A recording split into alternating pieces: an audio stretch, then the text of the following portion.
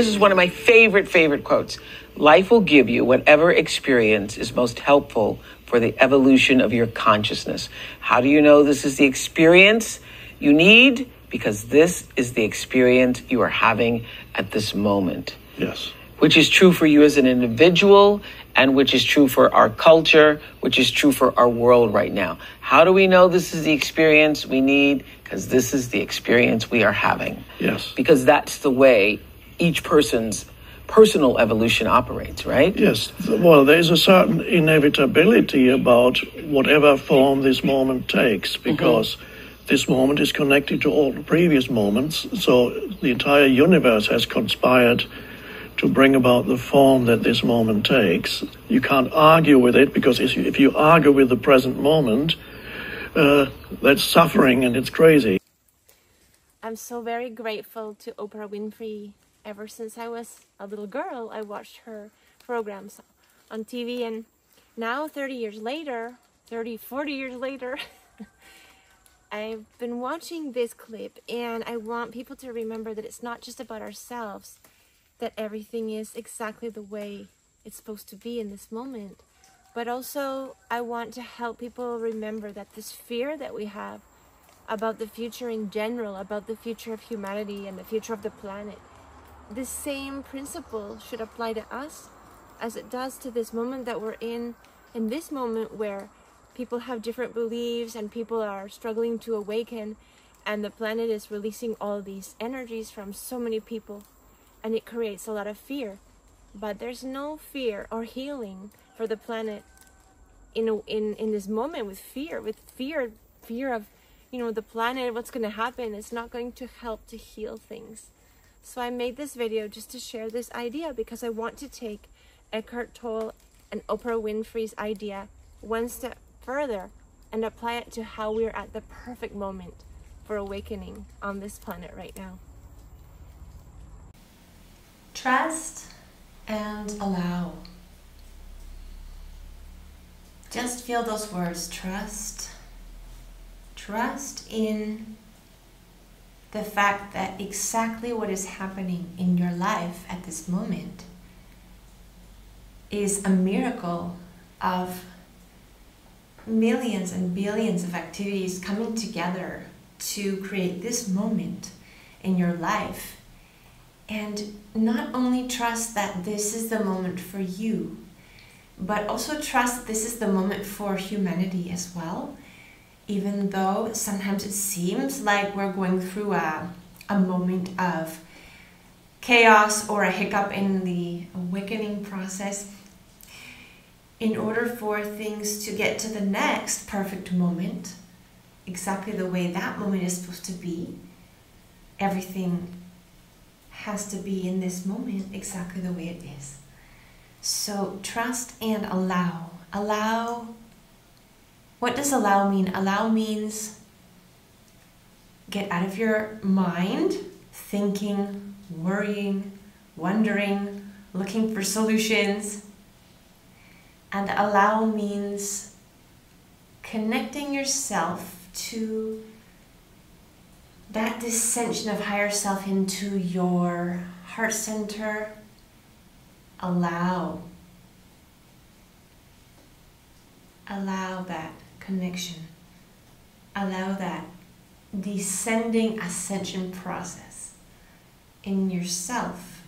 Allow the awareness, allow the presence, allow the emotions and the feelings. Trust the emotions and the feelings. You can handle them.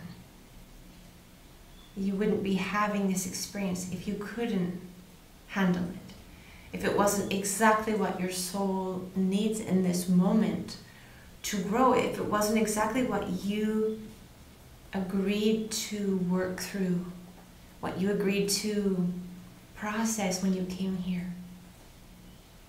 trust, trust, and allow. Allowing is allowing others to be the way they are. And it's loving and allowing yourself to be who you are as well.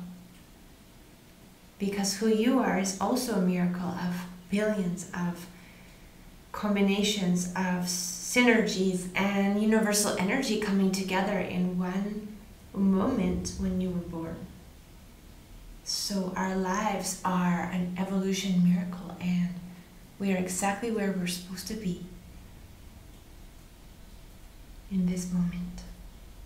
So in her interview with Eckhart Tolle, Oprah asks if the planet really is going through the awakening of the new earth, like he mentioned in his book. And I believe I want to add a little bit to this because I see some wonderful future changes. And one of those things is that the children that are being born on the planet at this time have a much more awakened heart center. And we are all working towards having a much more awakened heart center. So the children that are being born now are awakened, connected, open. Many of them are not willing to live lives any longer that are not ecological, ethical, in many, many different ways. Not all the children, but a very large percent of people are being born now in this time with a more connected, more um, awakened perspective. And this gives me a lot of faith and a lot of hope and a lot of trust and allow material as well because when I see the future and the generation coming up, I do see um, a challenging uh, transition, but just like um, the way things have to swing back and forth like a pendulum until they get into balance, the same thing happens. The things have to swing very far on a you know bad ecological way and then swing back in a really uh, large uh, healing the planet way. And we go through this as people too. We go through an awakening and we go back into the dark night of the soul. And the pendulum swings from the democrats to the republicans back and forth. It splits all the people uh, at least in the us even though i'm in mexico and i'm from canada i sort of watch everything that's happening. And this is all part of this perfect process for the awakening.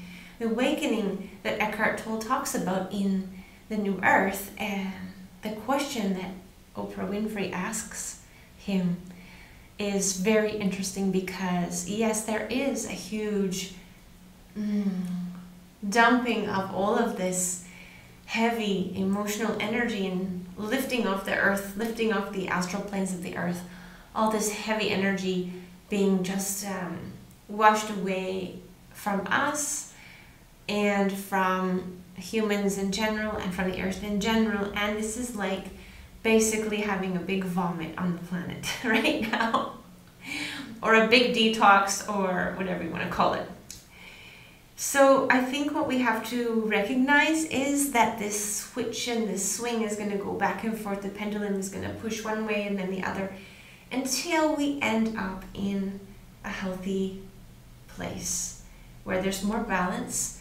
There's going to be more balance between the masculine and feminine energy. There's going to be more balance between the left and the right. There's going to be more balance between the conservatives and the liberals. There's going to be more balance between, um, you know, so many things. And the economic greed that we have been living for the last few hundred years on the planet switching now to a more minimalistic, more like when we go to the hippie era where we don't even care and we can just live on the street in some rags. And now we're coming to a place where we can live a good decent life healthy with a little bit of abundance and not too much keeping things in balance. And this is the way the awakening is happening on this planet. So trust and allow. Don't get discouraged. Keep your mindset in a high, positive, heart centered vibration. That golden light of your heart center, of your beautiful sunball heart center, just exploding out into your world in every cell of your body. Keep that higher vibrational, positive, beautiful, trusting, with a faith. It doesn't have to be a religious faith, it doesn't have to be a doesn't matter what you believe, what your belief systems are. Faith is just this knowing that things are exactly the way they should be in this moment. And I'll leave you with that simple message.